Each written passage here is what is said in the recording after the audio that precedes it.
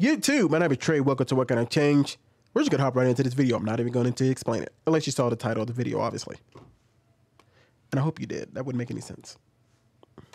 I can straight up drink Worcestershire sauce. It's so good. Like I, it's so good. I this is not gay people, you guys. I just wanna. I just feel like I need to say that this is not what gay people. Uh, it's this is at Paris Pride. So the craziness of Pride is not just an American thing. Okay, it's happening everywhere. And I feel like it's necessary for me to say this because I am gay, and there are people out there that don't know many gay people, then see this and think that we all want to wear dirty diapers and flash our man titties. Now, if you want to dress up like a baby and walk in public, that's fine. I will judge you, but that's fine. You should have the freedom to do it. However, if you're going to put my sexuality in the same alphabet as this type of behavior, I'm gonna have to say something about it. This may be controversial of me to say, but not everything society rejects has to be accepted. I understand that at one point gay people were not accepted in society, but just because that's true does not mean that we have to normalize this behavior. The sad part is, is that these individuals are probably not even gay, yet they're at Pride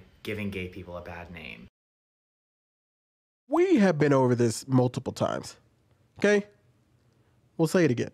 Pride is not about your sexuality anymore.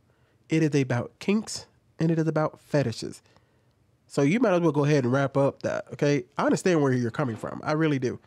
But at this point, it's it's over the edge. Pride is no longer about your sexuality and being gay. It's about kinks. It's about your fetish. We literally have people walking around nude. We have people walking around in like this, the baby costumes. We have people walking around in um, their leather outfits, right? And people clearly do not care if they if you see them as gay or not gay. You here's the sad thing is that pride is i don't even know who is a predator or not.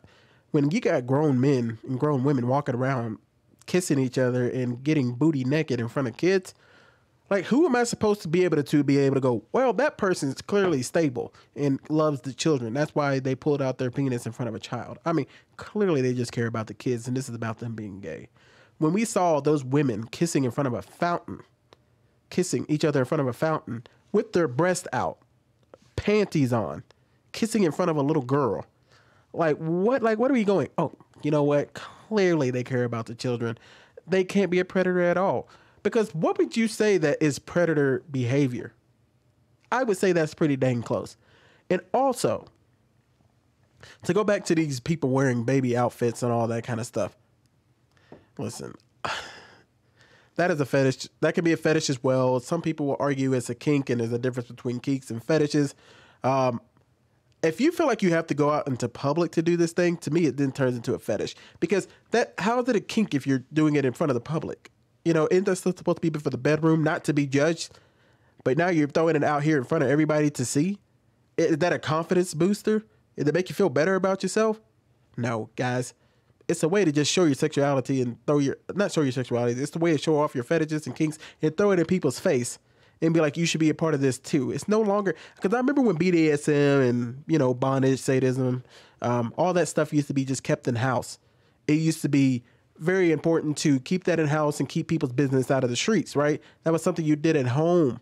Now, I'm, not that I'm saying it's right, but people used to use it because they need to restart their sexual engine. Things got boring in the bedroom, and some people wanted to be humiliated and all that kind of stuff. But they used to keep it as a dark world, you know, something you would have to know about. People don't do that anymore. They want you to see, and I think it's more to validate themselves to be like, oh no, this is perfectly okay.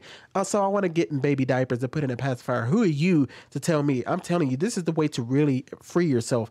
And then you got people who acting like animals in public. I just, I just don't know anymore you guys let me know what you think in the comment section down below. I I think the pride has just turned into a kink fetish parade. I don't know, man. I really don't. Goodbye.